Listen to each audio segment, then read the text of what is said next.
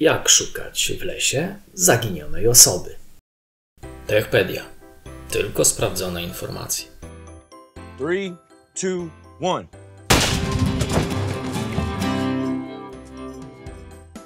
Jeśli jesteś sam, należy zacząć poszukiwania od miejsca, w którym po raz ostatni widzieliśmy zaginioną osobę.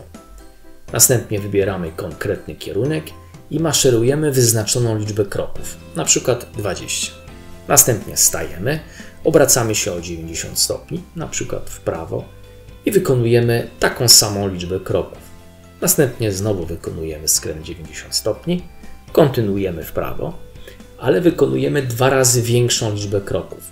Ponownie wykonujemy skręt 90 stopni, kontynuujemy cały czas prawy kierunek i wykonujemy taką samą liczbę kroków jak poprzednio. Teraz znowu wykonujemy skręt 90 stopni, ale zwiększamy liczbę kroków do trzykrotności tego co na początku.